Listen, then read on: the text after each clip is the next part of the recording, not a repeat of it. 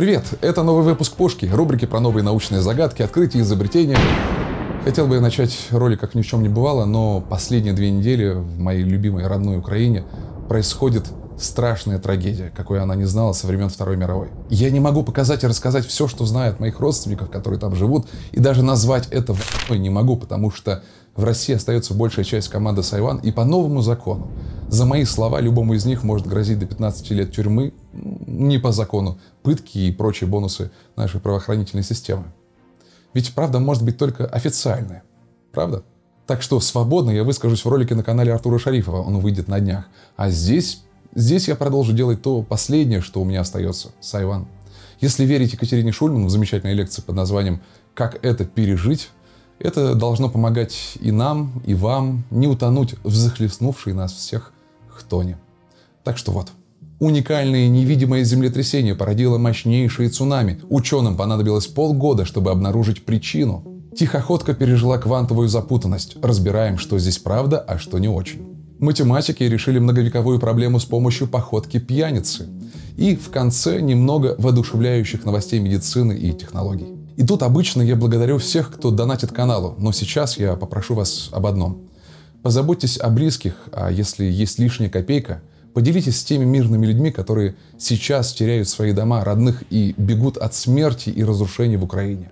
Есть проверенные фонды и организации, которые оказывают экстренную гуманитарную помощь. Ссылки я оставлю в описании. В августе прошлого года почти никто не заметил, что планета пережила самое масштабное за последние 18 лет цунами. Оно охватило сразу три океана – Атлантический, Тихий и Индийский – и прокатилось на расстоянии до 10 тысяч километров от эпицентра. Не заметили, потому что большая вода не ударила по заселенным районам суши. При этом нечто сравнимое по силе последний раз было в 2004 году в Индийском океане, когда волны обрушились на побережье сразу 14 стран, от Индии до Индонезии. В те дни погибли около 230 тысяч человек что стало одной из самых смертоносных природных катастроф в истории человечества. Ее причина была очевидна, потому что зафиксировали землетрясение магнитудой 9 с лишним. Но что вызвало новое мощнейшее цунами, оказалось загадкой, и тем более пугающей, чем больше понимаешь, что нам просто повезло, что оно случилось вдали от берегов. Поначалу исследователи решили, что волну в августе погнало землетрясение магнитудой 7,5. Но когда собрали и проверили данные, выяснилось, что эпицентр находился на глубине 47 километров от уровня дна океана. Оттуда не то что цунами, но даже волн для серферов не погонишь. Стали разбираться дальше и все больше удивлялись. Разрыв тектонической плиты, который спровоцировал эти толчки, имел такие свойства, что с ними он должен был вызвать наоборот намного более мощный выброс энергии. И вот сейчас вышло исследование, которое объясняет, что же на самом деле случилось. Похоже, было не одно, а целая серия из пяти мини-землетрясений. Между ними проходило всего несколько минут. И одно из них, третье, оказалось невидимым, хотя стало самым мощным 8,2. Но система мониторинга, которые поймали куда менее сильные толчки, его вообще не засекли. И проблема не столько в приборах, сколько в том, что мы здесь имеем дело с редким явлением, которое просто не умеем пока распознавать оперативно и уж тем более предсказывать. Как поясняют сами исследователи, то самое третье землетрясение получилось скрытным, потому что оно было не одним, а помесью, эдаким гибридом сразу двух типов океанических землетрясений. Глубоким разрывом, который получается, когда сталкиваются тектонические плиты, и медленным цунами-генным трением. Это когда медленно, иногда неделями, одна плита как бы бодает другую. При этом землетрясения с медленным трением могут высвобождать столько же тектонической энергии, сколько и землетрясения высокой магнитуды. Но их медленный темп не приводит к привычной нам ярко выраженной дрожи Земли из-за чего их и без того трудно распознавать. А тут еще оно случилось под прикрытием и в связке с другими, намного более спокойными мини-землетрясениями. Проблема в том, что большинство систем предупреждения заточены так, чтобы отслеживать короткие и средние периоды сейсмологических колебаний и выделяют из массивов данных, которые поступают с сейсмодатчиков, именно их. А волны с более длинным периодом порой не менее опасные, потому что могут провоцировать огромные цунами, оказываются как бы затерянными, и мы их просто не видим, зато видим. О, тряхнуло. Ничего, вот пик, все тип-топ. А спустя несколько часов приходит огромная вода, которая сметает все на своем пути. Так что теперь геологи всерьез задумались над тем, чтобы дорабатывать системы предупреждения и учиться находить такие скрытые землетрясения и разбираться в их природе. Ученые впервые в мире создали квантово запутанное существо. И у этой новости большинство заголовков, особенно в мировых СМИ, выглядит примерно так. И все вроде сходится. Припринт, то есть статья, еще не прошедшая рецензирование, за авторством международной команды физиков, опубликован. И там действительно говорится, что на короткое время подопытная тихоходка оказалась в состоянии квантовой запутанности с кубитами – для этого ее поместили в бокс, где температура была около минус 200 градусов по Цельсию и сверхнизкое давление. Это обычные условия для начинки квантовых компьютеров но смертельные почти для всего живого. Зафиксировали появление квантового феномена, провели измерения и достали тихоходку. Она жива. И вроде как это теперь первый многоклеточный организм, переживший квантовое состояние, которое раньше казалось возможным разве что в масштабах атомов или ну, элементарных частиц, хотя попытки устроить что-то подобное с объектами покрупнее давно делают. Например, в 2018 году в Оксфорде попробовали запутать квантово частицы света и бактерии. Но здесь-то целый медвежонок, пусть и крошечный. Неужели квантовая механика с ее феноменами может проявлять себя в наших, куда более привычных масштабах? И тут важно сначала немного кому-то вспомнить, а кому-то разобраться, что такое, собственно, квантовая запутанность. Если учесть, что это одна из самых сложных концепций в современной науке, то я как раз сейчас быстренько все объясню. Нет, конечно. Но главная идея в ее основе на самом деле просты. Так что коротко изложу именно их. Как их объясняет Нобелевский лауреат по физике Фрэнк Вильчик. Так вы сразу поймете, в чем суть сенсационного эксперимента с тихоходкой. Запутанность часто понимают как исключительно квантово-механическое явление, но это не так. На самом деле очень полезно, хотя и нетрадиционно, сначала рассмотреть простую, не квантовую или классическую версию запутывания. Это позволяет нам отделить тонкости самой запутанности от общих странностей квантовой теории.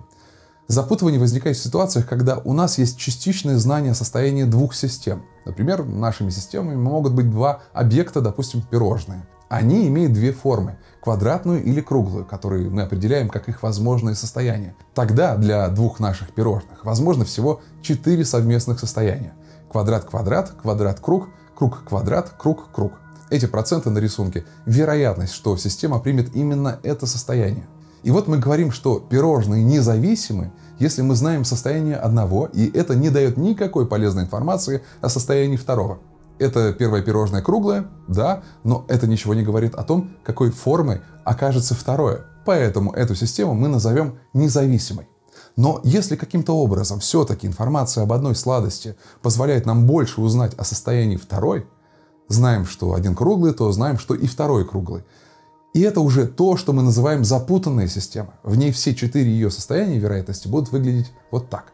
Квантовая версия запутанности это по сути то же самое.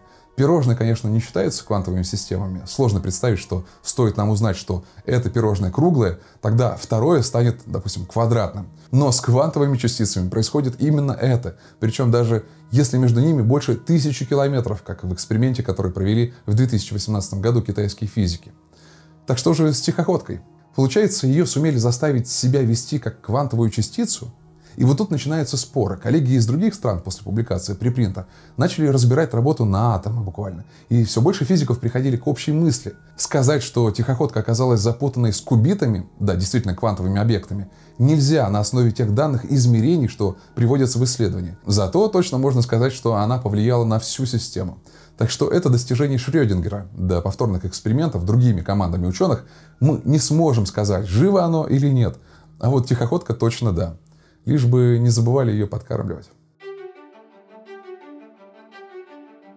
Мне тут на днях попалась одна поразительная картинка. Вы видите сейчас, как считается, первой в истории симуляцию черной дыры. В 1978 году ее получил вот на таком компьютере IBM 7040, для чего потратил почти 2000 перфокарт и уже результат вычислений зарисовал от руки астрофизик Жан-Пьер Люмине.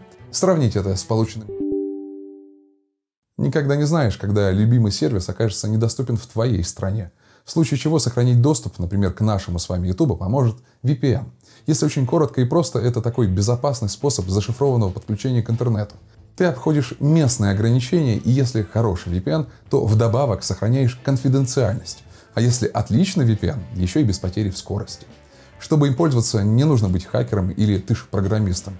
Качаешь, ставишь на телефон, ноутбук, планшет, любое устройство и запускаешь. Теперь сайты и сервисы различные уже встречают ваше устройство, будто оно не из вашей страны, а, допустим, из Японии или Чили. На выбор 60 стран. Просто выбираете нужный вам сервер парой кликов и готово. Теперь не только доступ без географических ограничений, но еще и дополнительная безопасность за счет шифрования всего вашего трафика. VPN-сервисов много, и мне лично больше всех нравится NordVPN. Так уж повезло, он был у меня первым и с тех пор ни разу не подводил. По моему промокоду Сайван вы получите скидку на двухгодовой план и месяц бесплатного использования в подарок. Так что ссылку я оставлю под роликом, будемте на связи, несмотря на любые попытки нас разлучить. Ну а что касается черной дыры, хорошо бы, чтобы она была лишь где-то в космосе, подальше от нас. Такая красивая и полная научных загадок. Вы, наверное, замечали, что когда появляется очередная новость о еще одном потенциально опасном для всего человечества астероиде, речь идет о крайне малой, но все же не нулевой вероятности столкновения небесного булыжника с Землей. Но почему так? Ведь мы при всем уровне развития технологий давно должны уметь вычислять точно траекторию движения чего угодно. Мы же ракеты отправляем в космос уже почти как такси. Что же с астероидами и, на самом деле, другими небесными телами, что они вдруг оказываются для нас не до конца предсказуемыми? Отчасти это связано с точностью измерений. Какая скорость, в каком направлении движется объект. Но это лишь отчасти. Диапазон погрешности мы знаем, а значит можно было бы просто рассчитать диапазон траекторий, летит вот так, но не дальше, чем так, и вот так.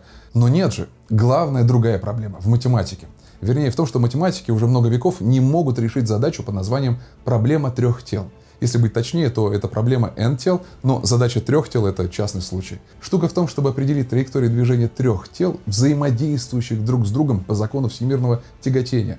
И такая задача не имеет привычного нам решения, то есть невозможно решить ее так, чтобы получить уравнение траектории. Для двух тел это не проблема, решается легко, и уравнение траектории тела уже давно известно. Это эллипсы. Но как только в системе появляется третье тело, то начинается хаос в прямом смысле этого слова. Ведь все три тела взаимодействуют друг с другом в процессе движения и меняют траекторию взаимно, но не как-то линейно, а с различным смещением в каждый момент времени. Ну, то есть натуральный хаос, непредсказуемый и ужасный. В этом случае, даже если нам известна начальная скорость и направление движения, мы не можем эти траектории рассчитать математический анализ тут бессилен, потому что эти траектории либо невозможно описать ни одним из существующих уравнений, либо уравнение настолько громоздкое, что на Земле просто не хватит носителей информации для его записи. Пример с астероидом, конечно, не самый удачный. Траектории таких тел мы как раз умеем неплохо рассчитывать и довольно точно, пускай и не абсолютно. Можно пренебречь гравитационным взаимодействием с Солнцем, Землей и другими небесными телами, что будет справедливо, учитывая не такое уж большое их влияние на траекторию астероида. Тогда зачем все это занудство? а затем, что астрономы и астрофизики, не имея до сих пор решения, сталкиваются с задачей трех и более тел постоянно на практике. И вот, кажется, более-менее работающее решение удалось найти физикам израильского техниона. И ответ, как это водится, был под носом. Ученые использовали саму проблему этой задачи как способ ее решения, а именно неизбежную неточность любого решения, любого, которое делает процесс взаимодействия трех тел случайным. Они вообще отказались от точного решения и решили рассмотреть задачу с точки зрения теории вероятности. И помогла им в этом походка пьяницы. Это не стиль восточных единоборств, а подход в математике, еще известно как теория случайных блужданий. Это способ описывать случайный процесс, который по сути путь, как цепочку из последовательности случайных шагов. Израильские ученые представили задачу так. Есть система из двух тел, которые кружат по орбитам, а к ним движется третье. И вот на каждом шаге приближения рассчитывалась вероятность, с какой скоростью может происходить это движение. В итоге удавалось рассчитывать вероятность исхода всего эксперимента, то есть для каждой возможной траектории будет своя вероятность, и вывести ее можно практически сразу. Конечно, можно придраться и сказать, что точного решения так и нет, но Теперь ресурсов для вычисления требуется гораздо меньше. И главное, нет такого, что у тебя одни и те же вводные, а результат может получиться чуть ли не противоположным. Хотя, признаться, эту тему я выбрал не столько ради самого исследования, правда, изящность идеи с пьяной походки сама по себе прекрасна, сколько ради задачки. Настолько она старинная и в то же время современная, а до сих пор до конца нерешенная. И чтобы хоть немного поддерживать веру в человечество и будущее, немного совсем коротких и воодушевляющих событий из мира медицины и технологий. Ученые заставили отрасти у лягушки лапку, полноценную рабочую конечность. Никакой пересадки, чистая регенерация. Хотя лягушки из тех животных, что, как и мы, отродясь не умели отращивать потерянные органы, в отличие от ящериц, крабов и других счастливчиков. Чтобы запустить процесс, биологи использовали микс из пяти препаратов, в том числе гормоны и вещество, которое мешает вырабатывать коллаген и затягивать рану. Микс добавили в гель, а гелем заполнили колпачок, который и насадили на культю. Самое потрясающее, что так они держали всего один раз в течение суток, а потом просто следили за лягушкой. Лапа сама отросла за полтора года. На очереди эксперименты с животными покрупнее. Другое свершение, еще одна победа в онкологии. Двое пациентов, которые прошли лечение рака крови с помощью генетически модифицированных иммунных клеток, излечились. Рак не вернулся уже спустя 10 лет как. Но главная проблема любой иммунотерапии, то есть когда мы заставляем наш организм самостоятельно бороться с болезнью, в том, что это требует уникального подхода для каждого пациента. На конвейер поставить пока такое просто невозможно, кажется. А вот делать сложнейшие операции автоматически мы уже можем. Пока, правда, единственный в своем роде робот-хирург впервые сшил кишечник свиньи. Звучит так себе, но если не понимать, что мягкие ткани, особенно такие критически важные, одно из самых сложных в хирургии, потому что ведет себя часто непредсказуемо, то все встает на свои места. А робот по имени Стар справился лучше человека, и что самое важное, без его участия от самого начала до конца. Это очень серьезная заявка на настоящую автоматизацию хирургии. Вот так-то. Знаю, дальше вы ждете традиционных загадок, но сегодня сделаем исключение. Вернутся они уже в следующих роликах, но обязательно вернутся. С вами был Влад, это Сайван. Берегите себя и близких. До встречи.